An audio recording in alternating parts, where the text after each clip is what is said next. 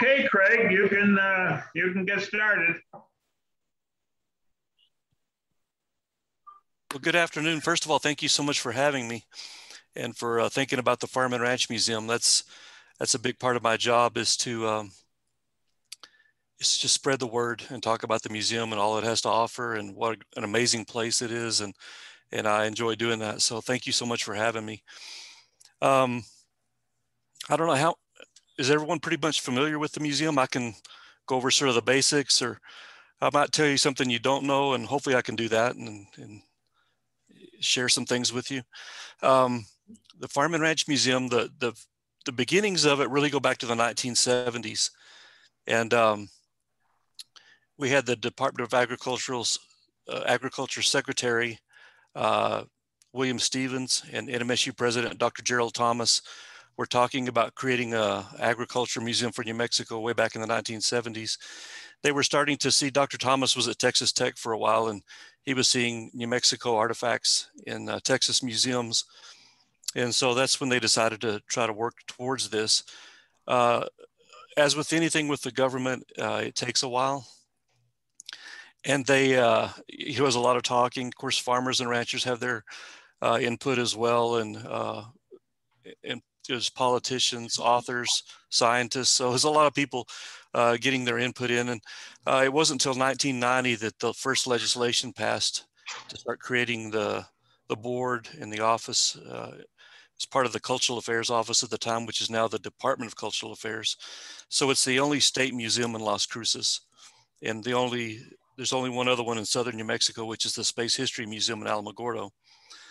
So it opened to the, they started building it um, 1996, 97. And uh, actually, I think the, the, the groundbreaking was kind of interesting. They, uh, uh, instead of shovels, they had post hole diggers at the ground op- at the groundbreaking. So that was kind of nice. And that was in 1995. They started building it in 96 and 97. The main building, uh, it opened to the public in 1998. Uh, big crowds. We had a big big celebration then, and uh, over time, things have been added with uh, legislative appropriations. Uh, we've uh, in 2000 around 2004 we added the horse and cattle barn and also the sheep and goat barn. Uh, the dairy barn's been there since almost the very beginning. And then we did the greenhouse in 2010. Uh, the historic Green Bridge was, um, it's a big part of our, our museum really. Um, if you're not familiar, it was part of a three span bridge across the Pecos River near Roswell. Beginning in 1902 is when it was uh, constructed and put up. And uh, in the 1940s, uh, that bridge was dismantled, and the span that we have now was moved to the Hondo Valley near uh, San Patricio, New Mexico, I guess. Um, and it was across the Rio Hondo there until the 1980s. They bypassed it with a highway bridge. It's a one lane bridge, obviously. And so it was just sitting there for uh, 20 years or 15 years or something, just sort of gradually deteriorating. And uh, the the county commissioners for Lincoln County donated that bridge to the museum. So it was, since it's a historic structure, there was a lot of paperwork and a lot of work involved. It was dismantled and um, put back together at the Farm and Ranch Museum to go across the arroyo, which came in very handy this past week and actually the past month or so with all the rains. Because we've had some, we've had some really nice uh, water come through there uh, lately. So it's it's been uh, it's our largest artifact, our largest donated artifact, and um, it adds to the what I think is a tremendous skyline with the barns and the, the main building and stuff. So it's a really neat thing. That was 2007 when it opened. Um, let's see, we're on 47 acres. Uh, we're the only museum in this area that's accredited by the National uh, Alliance of Museums, which is the highest honor you can give museums. So uh, it's something we're very proud of. We had accreditors come and visit and spend several days there analyzing everything we do. So uh, we have livestock, as you probably all know. Um, do you all sort of live around the museum? I think some of you might. Is it sort of yeah, a neighborhood? I, I live right behind it, and that that rain that had occurred just uh, recently, it comes right behind my house, and so it came right through the farm and ranch too. Yeah, some of that water was uh, most well, some of it was rain and the, it, it damaged yeah. the, the water main up the up the arroyo from us and so the city had to go repair the water main so some of it was from a pipe as well. So when you combine the two it was pretty pretty rough. Oh but yeah day, it was it was rough coming through us. It was in the front page of the paper yesterday.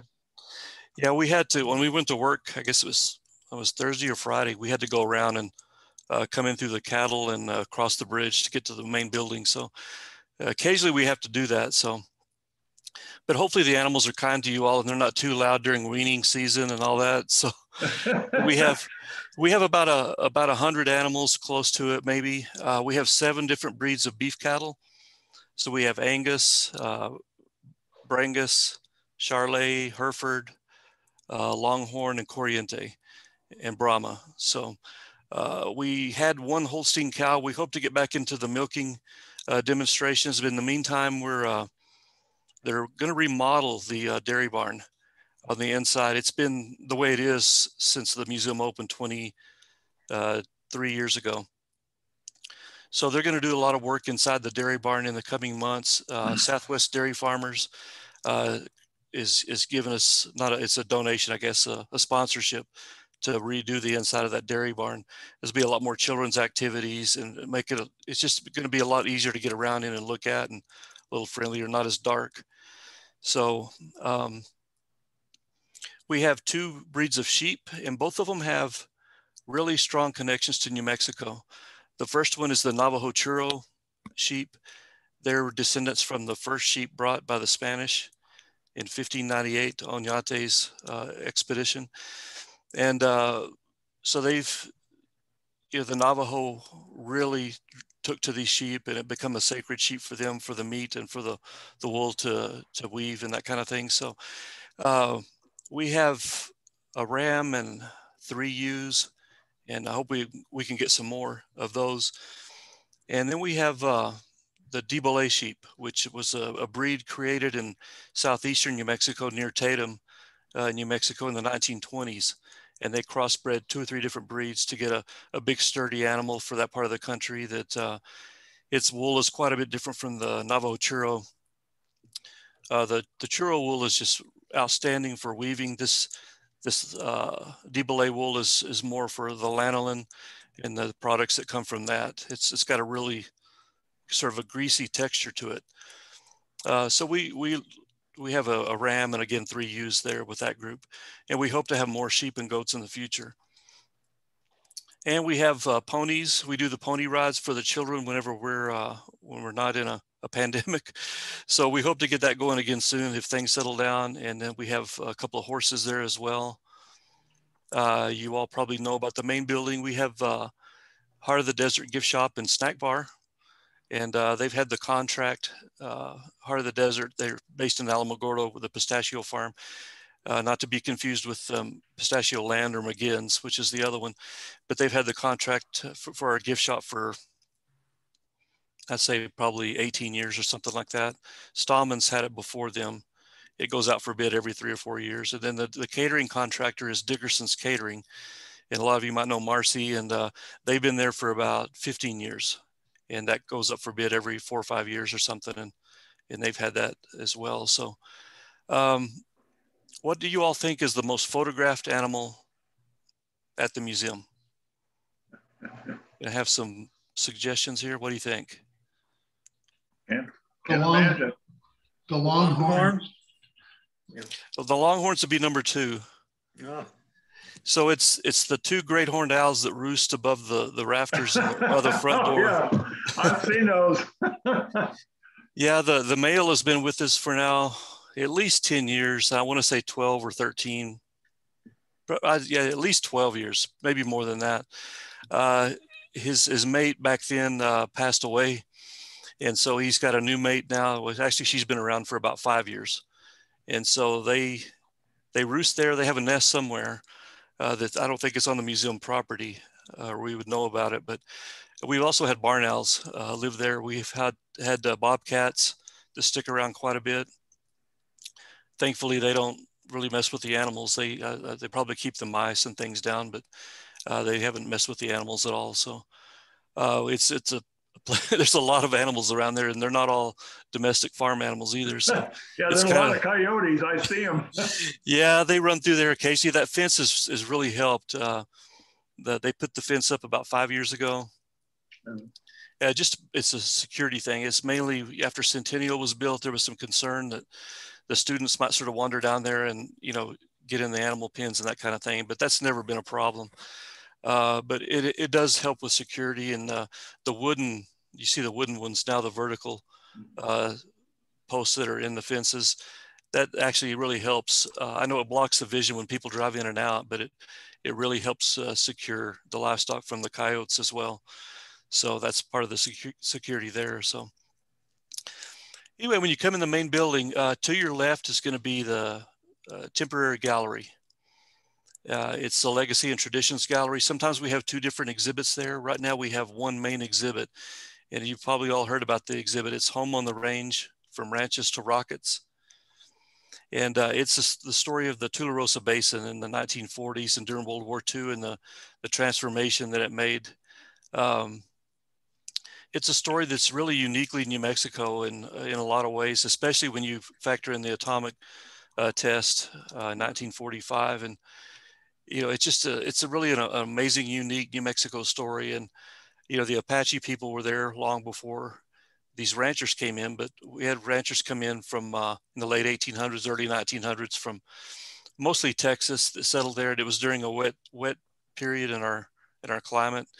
And there was grass there and it, it didn't last long. It was a few years later, it started sort of disappearing. It got a lot drier, but they stayed there and, and toughed it out and that kind of thing. And then you know, when the U.S. was drawn into World War II, um, they had they needed land to practice bombing, missile testing, all these kinds of things. So, I mean, it's an obvious obvious place for that. And the ranchers were told it was they were going to have to leave until the for the duration of the war. Of course, it went beyond that uh, once they realized that uh, they stumbled onto some V2 rocket technology that the Germans had, and they shipped them all to to this area to study them and test them and see uh, what they could do with it. And that was sort of the foundation, those V2 rockets of, of actually the space race and, and a lot of, a lot of different things that went on after that. So it wasn't just a weapon for, for the United States. It showed a lot of other things they could do with, with that kind of thing. So uh, that exhibit, half of the gallery is for uh, the ranching side of the story and the other half is for the missile military testing side. And it's not just, it's also the private sector. Uh, this that's the birthplace of NASA, as, as, many of you may know, and uh, a lot of private industry testing has gone on out there for for science. It's just an amazing place when you think of, and the Space History Museum in Alamogordo uh, tells this story as well. So once you exit that gallery, uh, we have some, we always have exhibits down the hallways. We have art show in the south hallway, and in the north hallway right now we have our uh, grist mill exhibit. And uh, grist mills, of course, go way, way back. People have been grinding grain here for, you know, 4,000 years or so. And um, once you go into our main gallery, we start with early agriculture.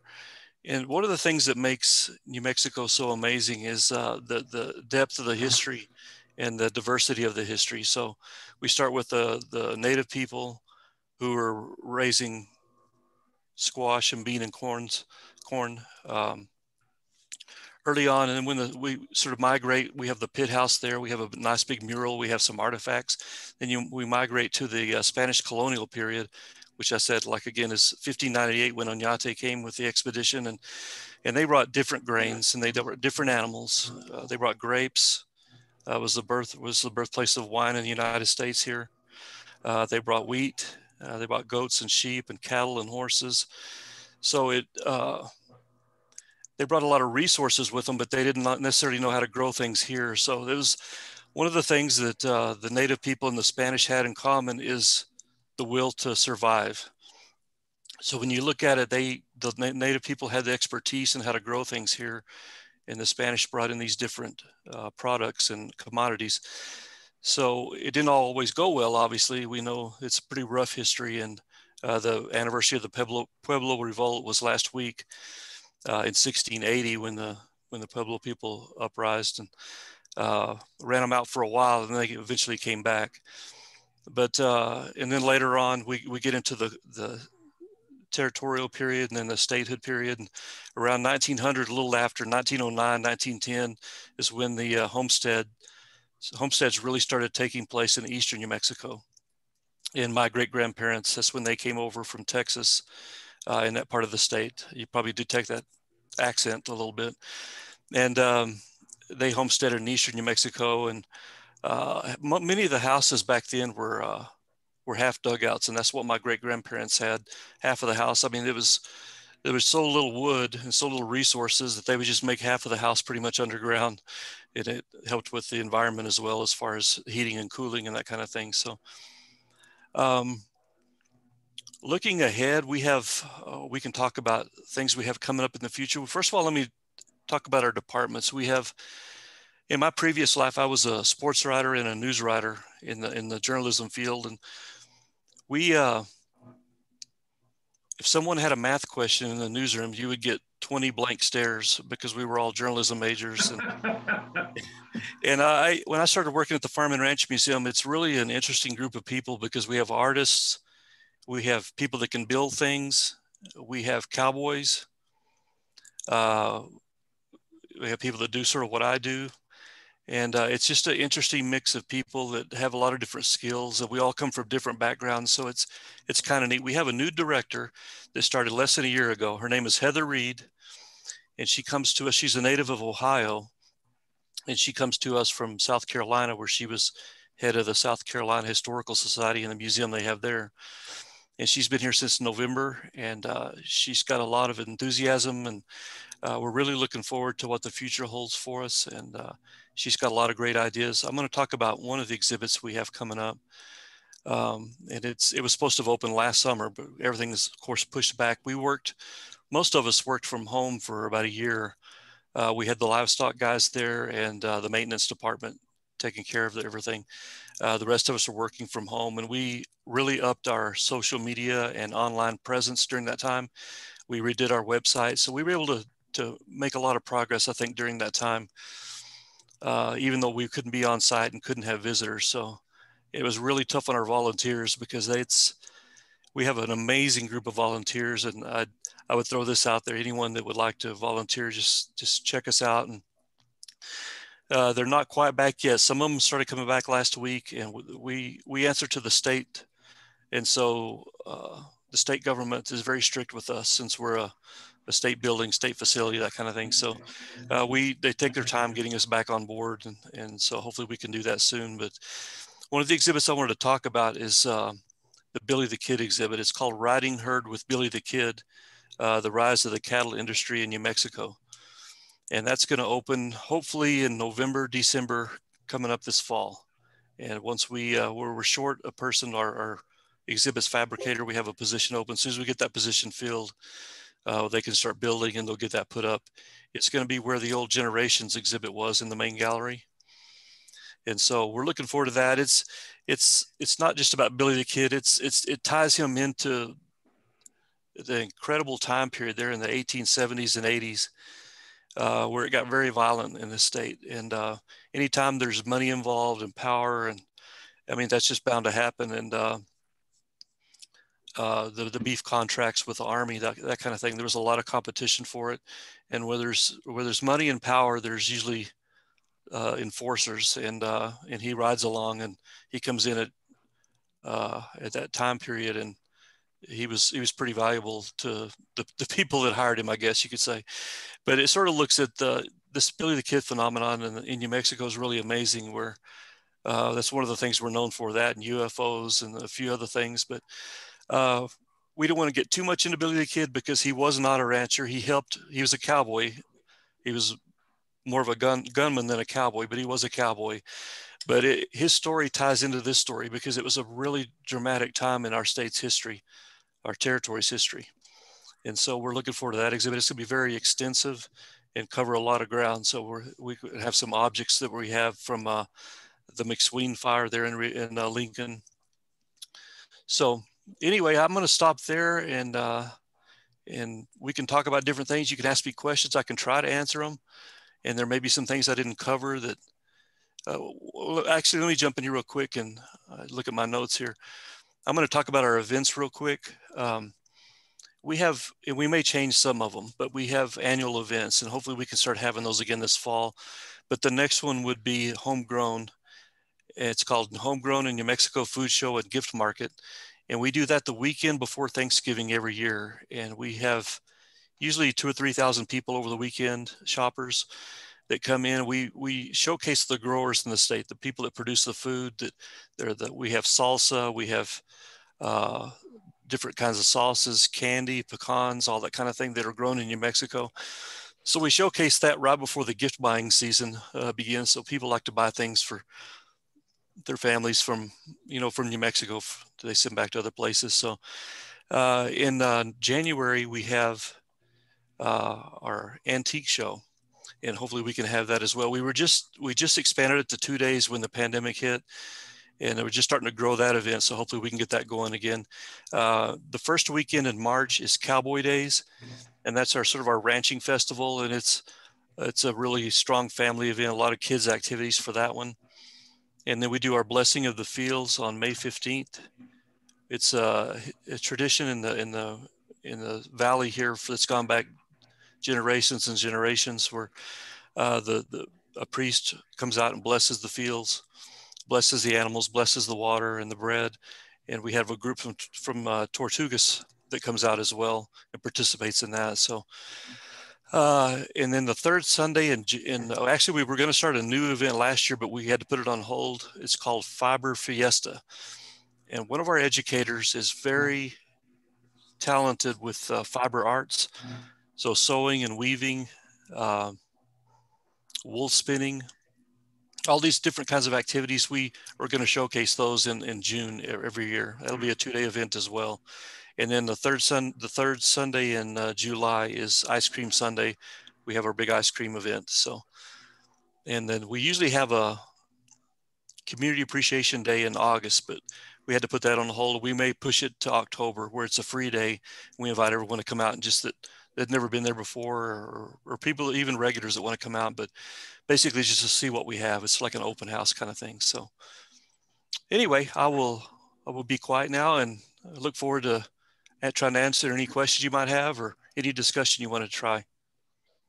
Uh, david you had a, a, question or comment? Uh, yeah uh, thanks thanks a lot craig for being with yeah. us. really interesting. Uh, i'm just curious as to whether or not uh, the, uh, the Confederate tie of our region of the state is something that is showcased, highlighted at all at the Farm and Ranch Museum. Most of the Anglos that uh, uh, you know were farmers and ranchers in this region during the Civil War were uh, you know on the Confederate side of uh, the divide. So I'm just curious as to whether or not that story is is gets told at the Farm and Ranch Museum. No, we haven't really gone there. Um, that's interesting, especially with the the way. If you look at last, not this past summer, but the summer of 2020, some of the things that came up, um, that, that's something we haven't really gotten into the, the, the, I wouldn't say politics, but yeah, I guess it is politics. But one thing I noticed driving down Baylor Canyon, I, I guess Baylor was a, a, Confederate officer. Is that right? Mm-hmm. Yeah, I'm really, I'm kind of surprised that there hasn't been. I think there's a, a little bit of something going on now, but I'm surprised there's not more more people that are that have a problem with that. Baylor Canyon Road, Baylor Pass, all the different things that are named after him. So, but that's something we haven't really we haven't really done. Okay. Uh, it is an interesting history, though, David. I found that since I've been here. They were they were primarily Confederates. yeah. yeah, I don't know. You know, my I can tell you about my ancestors. They came from Texas and through the South. So, I mean, I they you know I'm, I'm the furthest west of, of anybody, I guess. In, in my family, uh, most of them are still in eastern New Mexico, but they came through the, my, they migrated through the South over generations. And so I know they were, they were part of that as well. Is, is there a resident historian at the Farm and Ranch Museum? Yes, we have a history curator. Her name is Leah Tookey, and she probably would have maybe hosted this meeting or at least been at it, but she's on, she was on vacation the, the past two weeks. But yeah, she she would have a lot of good knowledge about that. Oh, go ahead. So you're, sort, you're, sort, of getting the backup today. I apologize for that. Uh, go ahead, Annette. Well, how could they have possibly been on any side? New Mexico wasn't a state back then. Well, it's it's a long and complicated history, but the Confederates wanted to have uh, you know manifest destiny you know uh, held for them too, and they they they, they wanted to have uh, control over the entire southwestern swath right. of the country, from yeah. uh, from the east coast to the west coast. Oh, so it's not like an official state part; it's individuals that join sides. No, there was that. It was a territory, and the territories were involved that was they were you know a, a secondary aspect of the war between the states but it's uh, I'll, I'll be happy to give you some references oh okay all right well no i'm you know hey yeah. yeah, well, yeah, she's she's from Germany. She's not familiar with her. yeah, we, we yeah we can't we can't catch me up on on history here in the next minute and a half. Yeah. Mm-hmm. Okay. Uh, go ahead, Jack. Jack, go ahead. You're uh, muted. Okay, okay now? Yep, fine. I'm going to say that uh, John Bloom is on today. So John, you can correct me if I'm not if I'm not right, but uh, the newspaper in Mesilla, the town of Mesilla, was very strong Confederate, and uh, the the editors and the staff of the newspaper during that era was very pro Confederacy. Yeah. Yeah. Yeah. Of course, one of the big aspects that uh, Lincoln talked about is that, uh, well, we got slavery in the South, but we don't want it expanding out west. And that was one of the main reasons for fighting the Civil War is to stop the expansion of slavery. Yeah, slave states, you know. Go ahead. Anyone else have a question? Uh, go ahead, Charlie. Yeah. Uh, you got me really interested in these owls. You're you're not coming through real good. all I knew was there was a pair of owls that were up in the rest owls or what. Uh, sorry about that. Oh, no problem. Are, they barn owls or are they uh, the great owls? What what's the difference and where do they live? They're great horned owls. Uh, there's a male and female, and uh, we clean up after them every morning. Our, our maintenance guy, bless his heart, it's just part of the daily routine. I guess we we shovel it on the south side of the property, and then we scrape it off the sidewalk on the north side. So, but there are two great horned owls, and uh, we have had barn owls out in the hay barn before. Uh, our uh, our staff down there discovered them once, and there was a, some, several babies, so they sort of built. They quit taking hay off of that side and sort of built them a little secluded fort area, uh, and left them alone. And so the, the the museum's been actually very good for the wildlife in the area you know, but it's just quite an ecosystem on those 47 acres. You see all sorts of things. But yeah, when you come to the museum, just right before you come in the building, just look look straight oh, up, yeah, or, right or maybe maybe stand back a little bit and then look up.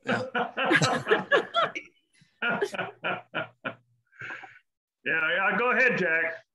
Uh, uh, Craig, thanks a lot for spending your Sunday afternoon with us. Yeah, we appreciate it. My pleasure. Uh, when school groups come to the Farm and Ranch Museum, is the staff available to be uh, helpful in letting the students know uh, what is there and what they're looking at, or is it strictly up to the teacher to be informed?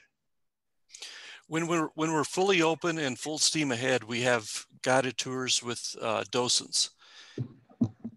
Now, a docent could be a staff member, it could be a volunteer, but they're trained and they, they're knowledgeable, and they take the kids in groups of about uh, 20, 25 uh, sometimes we'll have 100 kids there at once. We'll have four groups going to different stations. Uh, they stop at the dairy barn or they take a ride around to see the animals, that kind of thing. But yeah, we have docents that give the guided tours. We're not allowed to do that right now uh, because, like I said, the state is very cautious with us and uh, sort of like the schools. Uh, but they, once we're allowed to do that, we'll have docent-led guided tours again. Right now, the, the groups that are coming out are just sort of looking around on their own. Thank you. Anyone else? VJ's got a question. Oh yeah, BJ, go ahead. You got to open up, VJ. no, I did not say that. oh, okay. Hand up on your on your uh, screen, VJ. Sorry. Oh no, you're you're coming through now. Okay. Go ahead. Yeah, I'm no, I did not have a question. I know there's a quilter also, and you have had quilt uh, quilts exhibited. Uh, are they permanent or are they? Uh, uh, sometimes you have quilts and other times you don't. There's two. There's two uh, quilt cases on the north end of the building, uh, just across from the Peter Hurd charcoal study. And uh, we rotate those quilts every few months, I believe. Uh, and then once we get that fiber event going, that textile event going in June, uh, there'll be a lot of quilting and quilts there at that event as well. Oh, okay. And, and we have had quilts. Yeah, I think down in the in the arts hallway, uh, the south hallway. I think we had a quilt exhibit down there once, but we have two in the north hallway that we rotate. Okay, great. Thank mm -hmm. you. Yes. Uh, as the time goes on, uh, Craig, are you going to have, we, they used to have a lot of uh, speakers come in out there, uh, you know, in your lovely um, auditorium. It's really very good. yeah, I'm, really, I'm really hoping we can get back to that very, very soon. Um, they're not letting us have events with a lot of people right now. So hopefully very soon we can get back to, we didn't do the online uh, lectures. I wish we could have, we were, we had a few people that moved on to other jobs while we were closed and we were sort of short staffed, but we hope to get back to that. Uh, we've had uh, cowboy poets, we've had authors, we've had artists, uh, we've shown uh, videos and movies in there. So yeah, we want to get back to our culture series. That's what we call it. And it was at the, when it comes back, it's probably going to be in the daytime. It used to be at 7 p.m. on Thursdays, but I think it's going to be a day event when it comes back, and hopefully that'll be this fall as well. Yeah, I used to have a lot of uh, interesting speakers from all over the state and uh, politicians and everything. Yeah, a lot of different people. We had the National Weather Service guy here in town come out and talk about the weather. That was really interesting, and and Chautauquas and a lot of different things. So that, that's a lot of fun. Yeah. Uh, anyone else? Uh, I just want to uh, commend you on that, uh, having come from a different part of the country, that exhibit that's been permanent there for quite a while. I'm talking about going all the way back uh, to when the Spanish came in and all the way through up until I, I especially like in there uh, because I'm old enough to remember when we had Sears and Roebuck and and uh, that sort of thing, and, and uh, that that little area where everything was gotten out of the catalog. it, right. It, it, it, provides a memory. I remember catalogs too. When we when we take the kids through that part of the gallery, it's the mercantile, and it's it reminds me where I'm from. We had uh, the post office was on one end of the little store in the town of Dora, New Mexico. Uh, the post office was on one end, and they had canned goods and and different things. They had catalogs there, and so it reminds me of that. But when we take the kids through, uh, we tell them this is what Walmart looked like hundred years ago. it's it's sort of mind blowing to them, and they the whole catalog thing is, especially with shopping online now, it just seems so different to them. But the kids really get a kick out of that that exhibit. Yeah, but it is that whole that whole area goes all the way back to when the Spanish came here, all the way up until you know recent history. It's it's really well done. Thank you. Yeah, we a lot of talented people uh, have worked at that museum over the years, and uh, especially the builders. Uh, just just really great skill. Yeah. Uh, oh, go ahead, uh, Jack. Go ahead. I, I, I don't have your name. Uh, Craig, what is your title and, and what was your path that brought you to that uh, position? you said you were a journalist, right?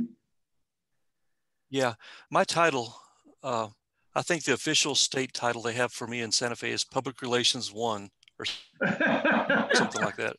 Public Relations A. Something I so I've gone by Communications Manager, uh, Public Information Officer, and then I think now my card or something it says Public uh, Public Information slash Media Relations. So I work with the media quite a bit, and that's my background. I uh, I, I, grew up in eastern Eastern New Mexico on a wheat farm, and uh, I didn't want to, as much as I admired farmers, including my dad, my grandparents, and uh, it wasn't going to be what I was going to do. I got a I got a little too bored on a tractor all summer, so uh, I went to Eastern New Mexico University, man, man, uh, majored in journalism, and then got a job as a sports writer here in Las Cruces in the 80s. And so um, I worked there and moved over to the news side and did some editing and some page layout. And, uh, you know, it, I, I, enjoyed a lot of that, but when it became an afternoon paper, actually a morning paper, we, uh, I would go into work about 1 p.m. and work till about 6 p.m. and then go home for about an hour and eat dinner and see my family, come back and then go home at like 1 a.m. Uh, we, we, we, would run the press about midnight and uh, had two small children at the time. And I, you know, I just, I wanted to do something different. And of course I'm in the newsroom. So I keep hearing about this farm and ranch museum that's coming. And once I saw the scope of it, how big it was going to be, I was thinking they, there's going to be some jobs there. And that's, that's, I love agriculture. It's, it's in my background. It's in my DNA. And, uh, you know, I, so I volunteered there for several months and sort of got my foot in the door. They knew who I was. And I know John, I see John Bloom's name on there. He's a volunteer as well for many years there. And I sort of got my foot in the door. And um, when they had a position come open for that particular job, I was able to get that. So that was, that was 21 years ago, 22 years ago, like that. So I've been there ever, ever since. I remember we had a, a meeting among staff back then. It's like my second or third month on the job. And it was one of those things where they have all the staff there and they everyone talks about sort of like what I'm doing right now. Uh, where you want to be in five years? What what where are you from? What, what's you know? And I remember telling them I'd like to retire here. That's, that's how much I like this place. And uh, and uh, there was a few you know laughs around the room, but I you know I'm almost there. I'm not... so anyway, that's how I ended up there. Cool. Annette, you had a question or a comment. Oh, yes. Um, I was wondering, you know, you you said when um, Vijay had a question about the quilts, uh, that you had uh, things in storage that you then rotate. Um, so besides the artifacts that you rotate out of your own storage, you know, like usually museums do.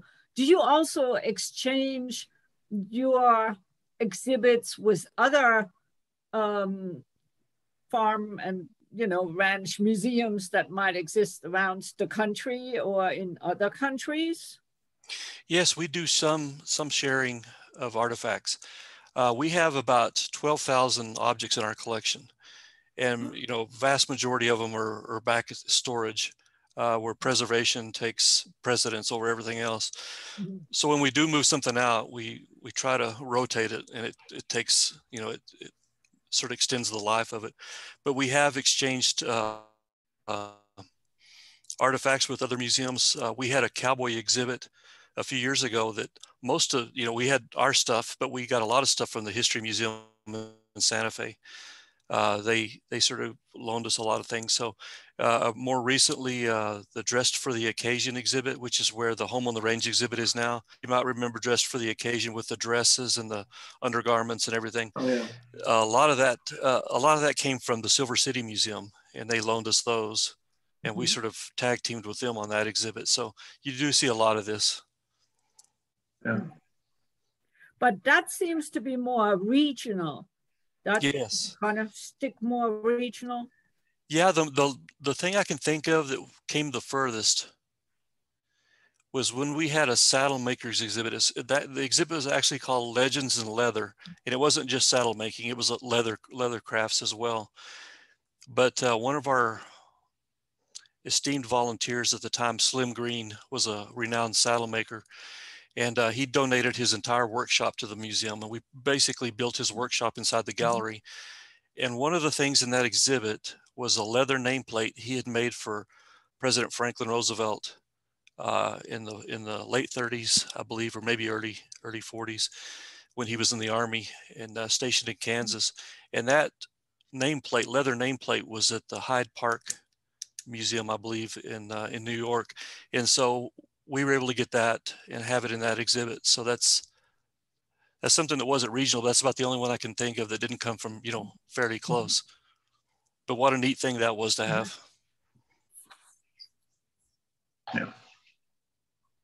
Anyone else? Question, comment?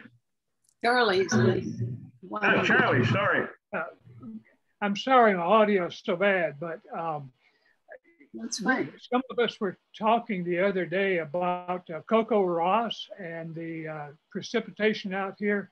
And uh, I, they said that you would be coming on and you're the guy to ask. My question, are we really different from the US? I missed part of that. Did anybody else catch all of that? He was talking about, weren't you talking about uh, weather? Try one more time. Yeah, the, the spottiness of the rainfall out here uh, is that unique to us or is that pretty much throughout the U.S.? I don't know if I'm qualified to answer that. uh, I, I, grew up in a family where everyone is looking at the sky all the time. I mean, it's it seems yeah. Yeah, it seems different for sure. Charlie, that was a that's a different speaker who's coming up later. We're going to have. Yeah, that's Dave Dubois next week. Yeah, Steve yeah. Dubois. Yeah, he's going oh, to come up next week. I'll talk about him later. so. Yeah, I uh, that's who I was talking about earlier. He's he's came and spoke at the museum uh, there in our our theater uh, a time or two, and and uh, I'm actually talking to him now because we uh, he's got these webcams situated in different places out near Lordsburg where they can keep an eye on the on the dust storms and that kind of thing. So we want to have a webcam as well. Maybe one of them we might point at the owls so people can see the owls 24 hours a day. So I'm talking to him about the technology, what we need to do technology wise to uh, have a webcam at the museum. So so we have been talking to him. He's he's he's going to be a, uh, a great great guest for you all. Oh yeah, he's he's going to be our speaker next week next Sunday. Uh, do, do, you, do you keep rainfall information over there? How much rainfall we get in the last short time? You know, we do. We have a weather station there, and it belongs to uh, the tech. The computer part of it belongs to KVIA in El Paso, Channel Seven, ABC affiliate. And uh, but I, I'm not sure. It got all the rain the other day because it looked like it was off to me. But uh, yeah, for the year, I think we were like seven, I want to say seven inches or close to it. Oh, maybe for this year, mm-hmm. which is pretty good. So, but yeah, we have it there. As long as it's sometimes it goes offline, we have to re restart it, but it's it collects uh, information there. Mm-hmm. Yeah. I'm Mr. Bloom. I'll speak up if I may. Am I getting through? Yes. Like yeah, go ahead. I'm flattered uh, that my lurking here was uh, noticed, and I apologize if it, but that's the way I feel today. Uh, I want to com commend you, Mr. Massey, on your review of the development of this wonderful museum here, which uh, my wife and I had the pleasure of seeing from the original right. groundbreaking to its uh, development to a really important facility. Uh, I'm hooked in on the state history program through the State Historical Society. And I can advise you that you'll be involved in uh, publicity for an event in April of next year when the State Historical Societies of New Mexico and Arizona will have a joint meeting at the Private Ranch Museum. Well, we're looking forward to that. We're looking forward to that. And thanks again, John, for all your hard work Thank you. Yeah, very good. Uh, go ahead, Carol. you still have history lectures? When I first moved here, it was suggested to me that I take the class from Jo Tice Bloom. And uh, it, it meant a lot to me because I was from a small town and just kind of laughed at the idea of farms being a museum. How nice of you. And I really learned to appreciate the museum, but also I learned the history of the area from Jo Tice Bloom. That is something that we we certainly miss. We miss Jo so much, yeah. but that's something that the museum misses as well. As uh, we were we'd love to find someone that can that can take that role and and teach a class because it was full every year. You know, she would teach it in January, February, and March, I believe, mm-hmm. or at least the first two months of the year and uh, the class filled up every single year that she taught it. So that says a lot about her and about the, the need for something like that. Yeah. Yep. Very much so. Is anyone else? We're getting close to. Uh, I'll ask a ahead, question. John. Yeah, hi. I got I got on a little late, Craig, but thanks for being here and talking to us. Um, I'm curious about Adobehenge and that project of our cartoonist. I, I, want, I want to know if you knew anything about whether that is going to be built up above the museum there and if that's on target for, and, and whether there'll be access through the museum if they ever build that or. If, if I don't know what the status of that is, I, I haven't heard anyone talk about it in a long time and we changed directors and I'm not sure what our new directors has been told about it or how she's been briefed or anything, but uh, if if and when that does happen, yeah, um, we will certainly be uh, connected to it somehow. What uh, What is this? Physically, I don't. Tom might know more than I do, but it's uh, uh is it Bill well, Diven? Bill, right? Yeah, it's Bob Bob Divens. Is Bob he, Divens. He's our cartoonist in the Sun News, and and it's his vision to build a kind of a Adobe um, recreation of Stonehenge or an interpretation of Stonehenge above the museum to the north, between the water tower and and the museum, and people can use it for meditation and photo ops and weddings. Is that right, Craig? Those yes. kinds of things. Yes, that sounds right. Yeah. I, I, just don't know where it stands, and it's been talked about for a long time. And that land belongs to the Bureau of Land Management, and uh, oh. so they're, they're involved and there's been talk about you know hiking trails and all that kind of thing so yeah i really yeah. don't know what's going to happen there but that's something to watch in the in the future for sure. Yeah. well if there's no one else let's give uh, craig a big hand. Hey. Thank you so thank much. Thank you very much. It's, it's very go, informative. Well thank you. I thank you so much for having me. I really appreciate it.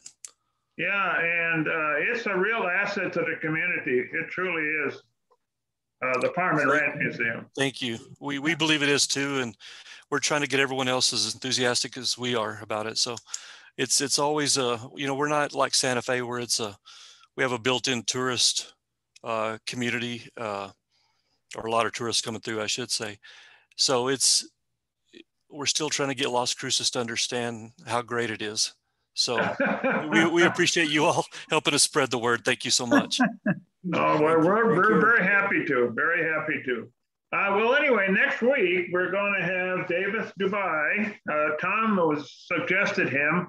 And with the recent UN climate support and all the things going on so far as disastrous weather reports, from fires to God, you know what, uh, uh, he's going to uh, be our speaker next week, and it should be very timely and uh, we're looking forward to it. So uh, uh, join in with us, folks, and uh, we'll learn about uh, what's going on in climate and uh, how we can address it. So, Great topic. That, with that, thank you, everyone. Thank yeah, I'll you. see you next week. Thank you for Bye -bye. having me. Thanks, Craig. Yep. Hi. Yeah, thank you.